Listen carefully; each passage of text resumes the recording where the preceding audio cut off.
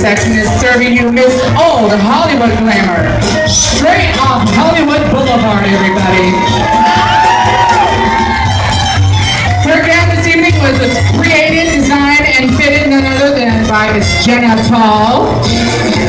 Her fox stole was from every poor little fox movie you've ever seen on Disney. Polished by none other than Miss Ashton Brooke. Amaya's gown features an array of expensive jewels. Siam AB on a nice, lovely, expensive fabric. Amaya likes long walks down Hollywood Boulevard, picking up her next ex-husband.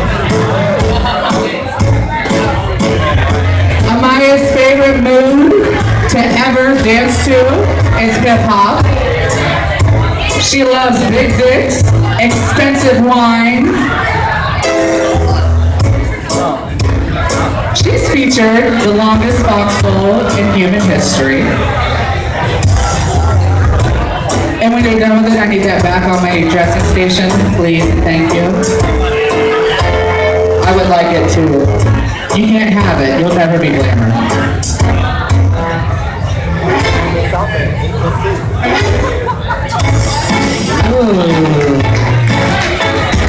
Judges are good, Mary.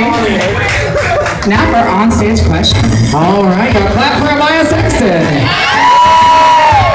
Hi, Amaya, how are you? What do you offer as the potential next Miss Work It over the other contestants? Again, your question. What do you offer as the potential next Miss Work It over the other contestants? Good luck. Thank you, Mary. Good evening, ladies, gentlemen, and judges. I'm your contestant number two. My name is Amaya Sexton. In response to the question, what can I offer? I can offer myself, Amaya Sexton. None of the other contestants are me, and I'm not them. And I'm very excited to be competing, and I wish everyone the best of luck. So what can I offer? I can offer myself. Thank you guys so much.